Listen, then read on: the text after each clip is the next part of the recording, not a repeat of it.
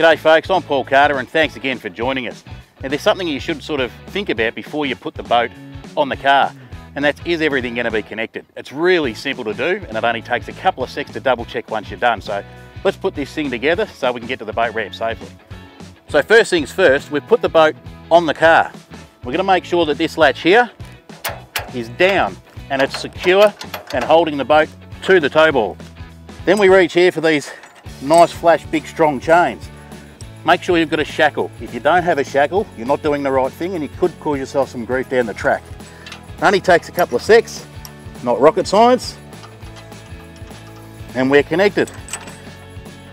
So it's as simple as reaching down, putting your shackles in, and you're ready and sorted to go. Now before you start heading out on the road, this thing here connects your indicators, your brake lights and so forth to the back of the trailer. People behind you need to know what's going on. So we just simply whack that in there and if you can, grab your wife or grab the kids or grab someone, go and stand at the back of the boat and make sure all your lights are working just right. Thanks for joining us.